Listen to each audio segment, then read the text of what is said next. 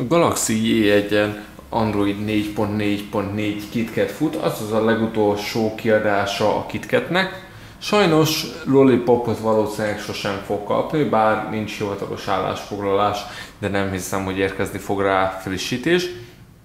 A telefonon a TouchWiz Lite felhasználói felület fut, ez is igazából még a Galaxy S5-ön debütált TouchWiz felületnek a lebutított verziója, tehát a felhasználói elemek hasonlítanak, arra viszont számos tényező megváltozik, kevesebb a funkció.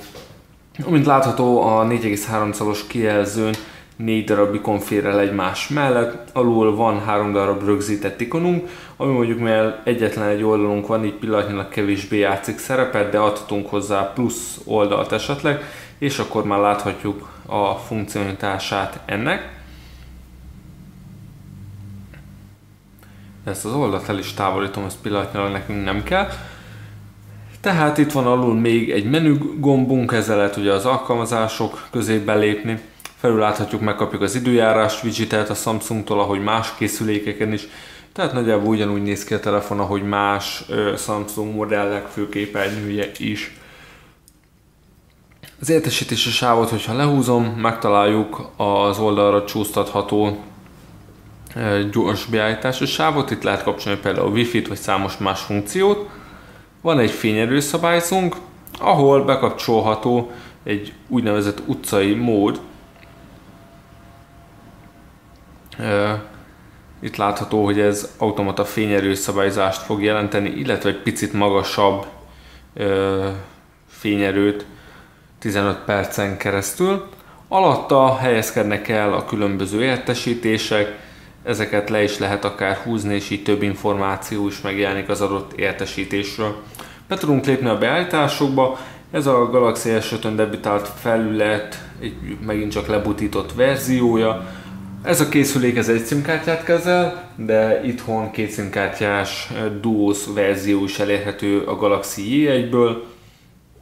Bemegyünk az alkalmazás kezelőbe, itt látható lesz az, hogy a futó appokból ö, a fél giga RAM-ból 300 MB foglalt és 151 MB érhető csak el, ami rendkívül kevés. Ugye az Antutu Benchmark test során láthatjuk azt, hogy ez kevés arra, hogy egyáltalán lefusson a benchmark test is rendesen.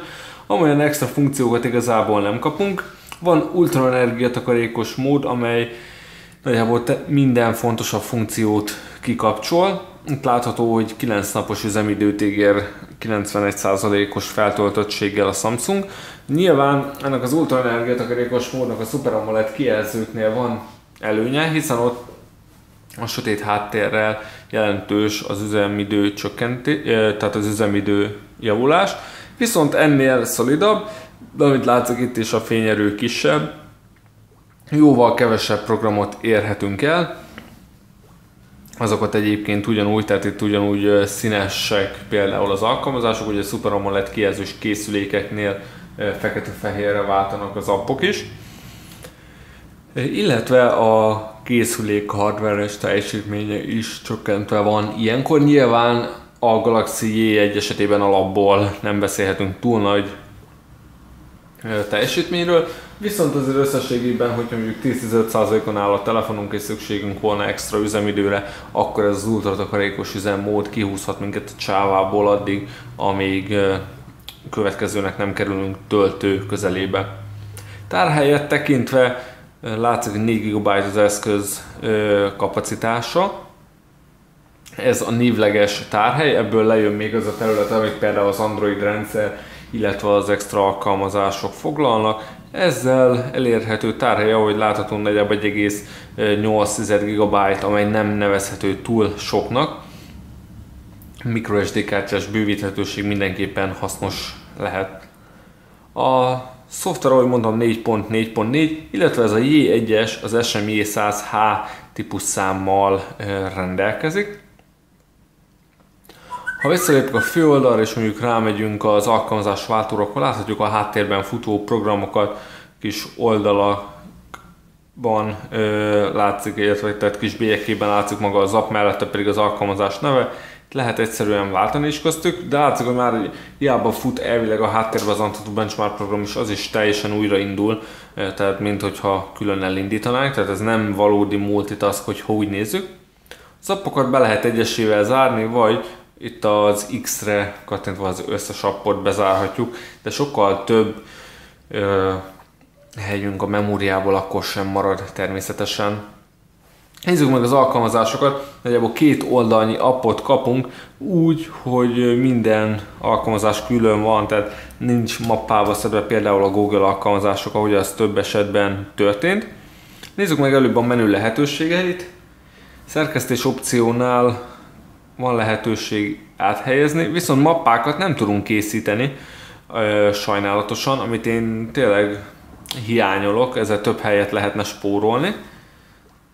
Megtekintésnél van egyedi vagy betűrendi sorrend, lehet listázni külön csak a letöltött alkalmazásokat, van alkalmazás eltávolítása olyan appoknál, amely nem rendszer API, például a jegyzet alkalmazást, a Google appokat el lehet tüntetni, amely egyébként hasznos lehet, hiszen helyet spórolhatunk, és hogyha mondjuk nincs szükségünk a fotókra, akkor töröljük, de ez igazából nem töröl teljes egészében hanem egy telepítő azért rajta marad a telefonon, így később visszaállítható. Illetve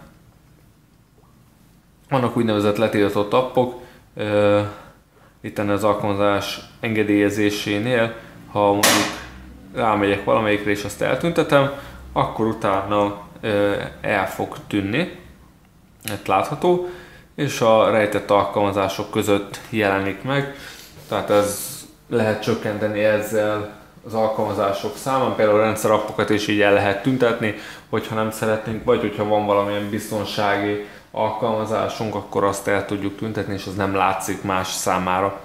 Nézzük meg a tárcsázót, nyilván az egy kártyás verziónál sok opció nincs, két kártyásnál lehetne választani, hogy mivel e, szeretnénk tárcsázni.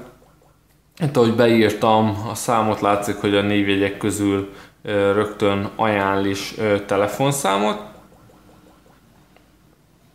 Lehetne rögtön videóhívást kezdeményezni, hogyha szeretnénk, illetve sima hanghívást.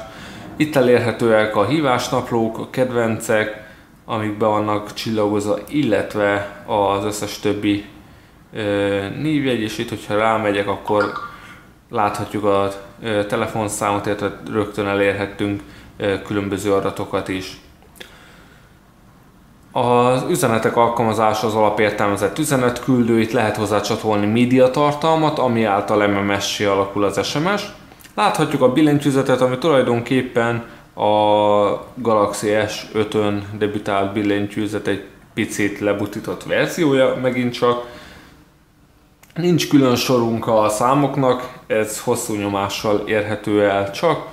Billentyűzet beállításánál pedig túl sok mindent nem kapunk, de itt, is van esetleg prediktív szövegbevitel, illetve beállítható lenne prediktív szövegbevitel mellett a swipe, de például a billentyűzet méretét nem lehet ö, beállítani.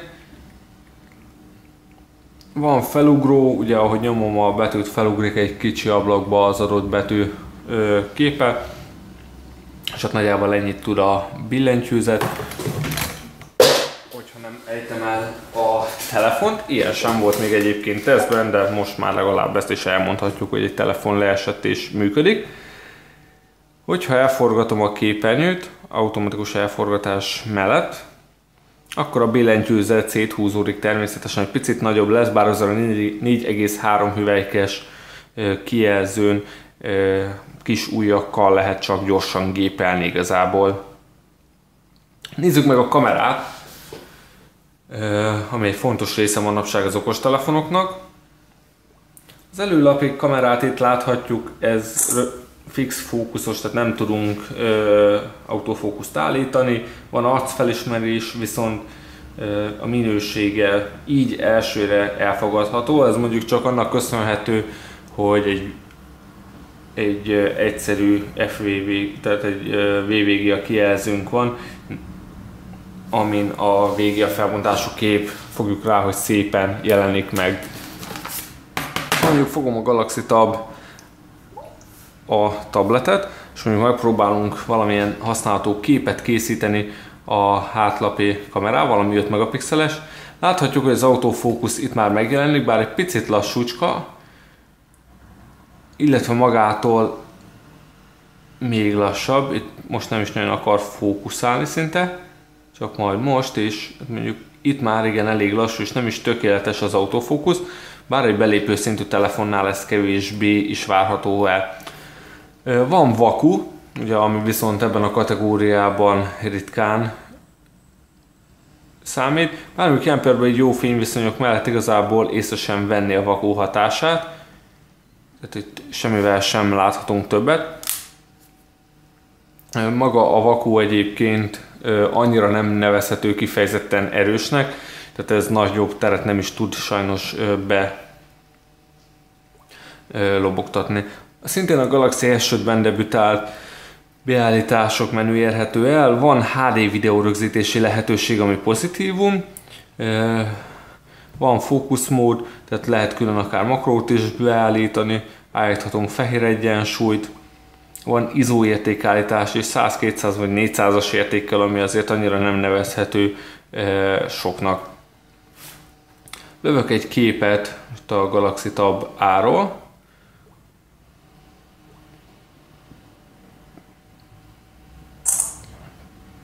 és megnézzük.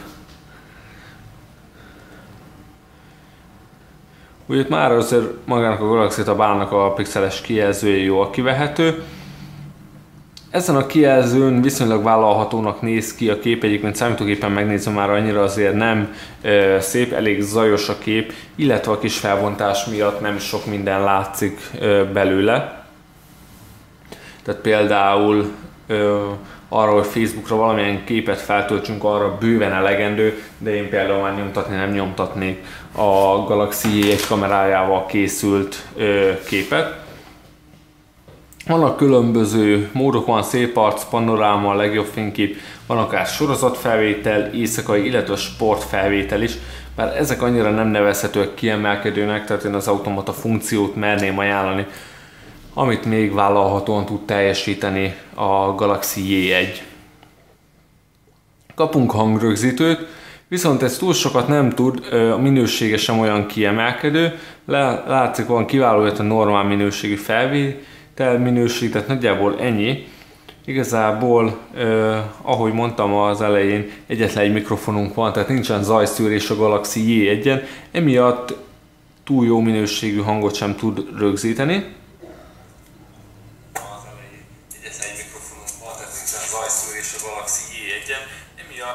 Itt ezen a hangon talán hallatszott hogy eléggé kis ö, zajos, minden kis NES hallatszik rajta, nincs egy másodlagos mikrofon, amivel kiszűrhető volna ez. Van egy fájkezelőnk, itt elérhetjük a gyors keresőként különböző típusokra keres a fájlokat, például a zene állományokat vagy dokumentumokat, ha volnának, volna letöltési előzmények, az eszköz tárhelyében is tudunk nézelődni akár. Itt a kiválasztott kép esetében van lehetőség áthelyezni, azt másolni, átnevezni, tömöríteni, vagy részleteket is láthatunk róla, tehát nagyjából egy alapfunkciókat lát el a fájkezelő, viszont például felhő alapú tárhelyet nem tudunk hozzáadni, így azért sok mindenre nem jó. Ebből a szempontból viszont rejtett fájlokat meg tud jeleníteni szükség esetén. Tehát nagyon alap alkalmazásnak nevezhetjük. Nézzük meg a rádió appot. Ehhez mindenképpen szükség van arra, hogy csatlakoztassunk egy headsetet. Csak ezzel fog működni a Galaxy egy rádiója. Enélkül igazából nem lehet hallgatni, úgyhogy egy jack csatlakozót be is pattintok, egy headsetet akkor el is indul a sávkeresés. Igazából egészen kellemes a J1 rádiójának felülete, ki is választ feltétlenül egy csatornát a hétből, amit megtalál. Tehát ez így néz ki, egyszerűen lehet váltani akár, láthatjuk a belistázott állomásokat, lehet hallgatni hangszórón. Kereshetünk újra, bal felső sorokban látszik, van egy rögzítés gomb, tehát lehet rögzíteni a rádióadást. Nyilván, hogy az előbb hallani, mert kicsit recseget, ropogott a rádió a vétel minősége miatt, ami a felvételt is rontja, tehát annyira jó minőségben azért nem fog rögzíteni. Ezeket a felvételeket itt a felvételek opcióban vissza tudjuk keresni, és visszahallgathatjuk. Nyilván itt headseten megy ez.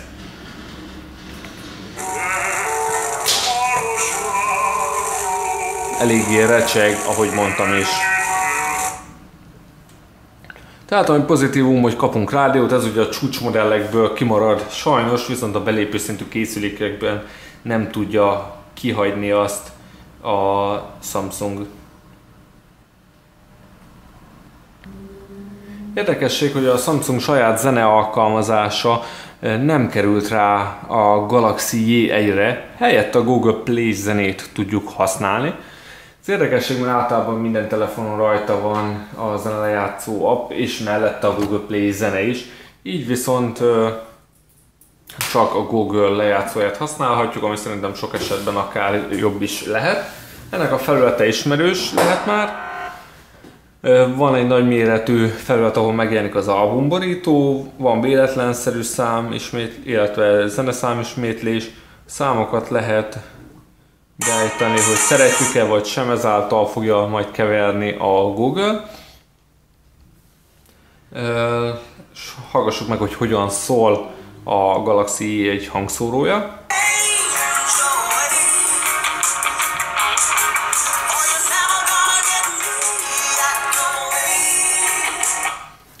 A hangminőség annyira nem kiemelkedő, de nem is annyira rossz. Uh, igazából ahhoz képest, hogy belépő szintű telefonról beszélünk, viszonylag vállalható a hangzása a készüléknek. Bár zenét nem kifejezetten ezen fogunk hallgatni, vagy inkább headseten keresztül, mert így kihangosítva annyira nem nyerő.